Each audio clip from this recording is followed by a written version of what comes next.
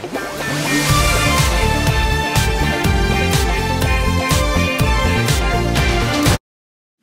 guys, welcome back to Ninjago News TV, or not Ninjago News TV, DailyRoLord. And yeah, so basically I wanted to take a look at the Ninjago Legacy sets in greater detail.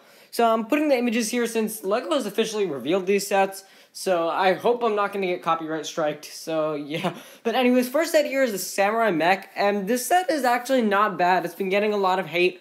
It's a little bare, and I can understand that. It could have been a little bit more bulky. Definitely not as good compared to the original, but I still think it is pretty cool, and it's a nice mini version of the original set. The minifigures are pretty nice, you know, I'll be talking about the minifigures in a separate video coming Sunday, but yeah, I think I like the colors and all. It is a pretty good set for the most part. It's, you know, not the best thing in the world. Next set is the Golden Dragon, which also has been getting a little bit of hate. This one, I, I can't tell. Is that a brick built head? I don't think that's a brick built head. But this is pretty cool. I think this is definitely nice. It's a small dragon, but it's not horrible. It does have the, you know, it does have nice limbs. It's built pretty nicely. I like the sword details. That's all very cool. It comes with some pretty nice minifigures. And, you know, the head this time along also shoots studs. So that is pretty cool. Yeah, once again, amazing minifigure collection selection. It's a great deal for $20. Next set here is Kai's Blade Cycle and Zane's Snowmobile. Mixed feelings about this set. Kai's Blade Cycle is definitely a downgrade, whereas Zane's Snowmobile is certainly an upgrade compared to the original one. Kai's Blade Cycle does not really scream Blade Cycle like it did, like the original set did. The original set certainly screamed Blade Cycle with it having all those different blade designs. This one is kind of lacking it. It's kind of lacking those red details. It just doesn't really stand out. Zane's Snowmobile, on the other hand, is pretty amazing. I love how they've, you know, just taken this set, taken this design and made it more complex. It just looks really cool.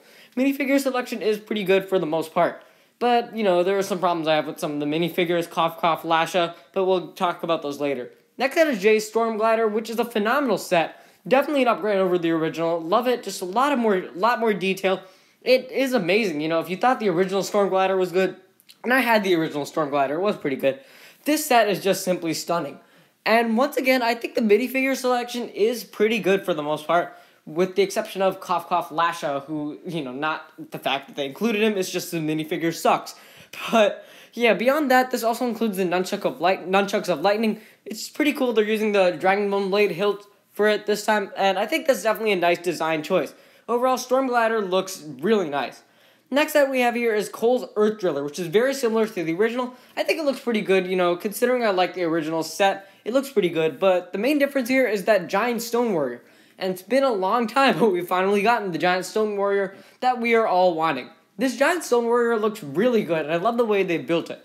Even down to that mask part, they do use bat wings on the side, and I think that's a really interesting design choice. Love the way how they made this Giant Stone Warrior. It's definitely something that you'd want to get. Nice colors and all, nice design. It looks really good for the most part. Just nothing else to say. Love the design choice. Nice minifigure selection too. Awesome set. And then what we have next is the Monastery, which I've kind of already talked about a lot. So I'll try to keep my uh, keep my opinions brief.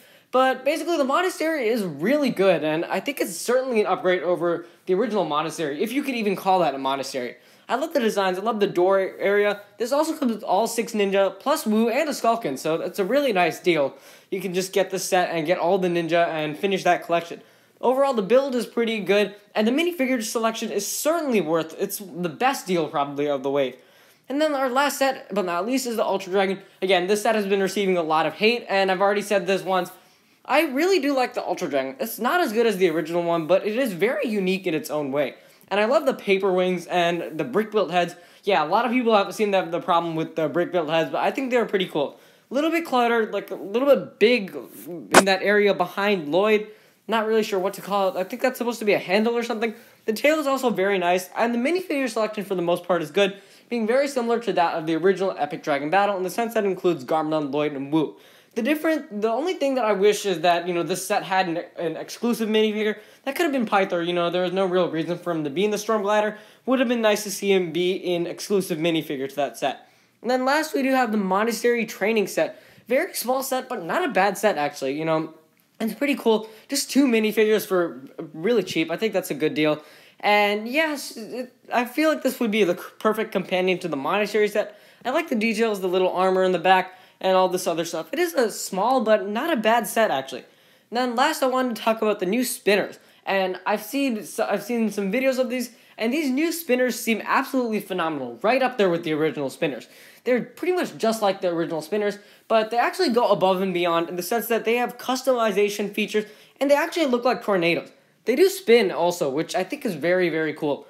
I love these different customization features. I think their attack, defense, and speed basically they're different parts which you can add onto the spinner and i think that's very very unique i also love the overall shape you just stick a minifigure in and spin them and i think that's really cool. It's a really nice design idea. So yeah that's gonna pretty much wrap up my this video. These are my final thoughts on the ninjago legacy sets. Spinners we'll be talking about the minifigures later. Uh, so yeah thanks for watching. If you enjoyed be sure to leave a like subscribe share with anyone ever you know and i will see you next time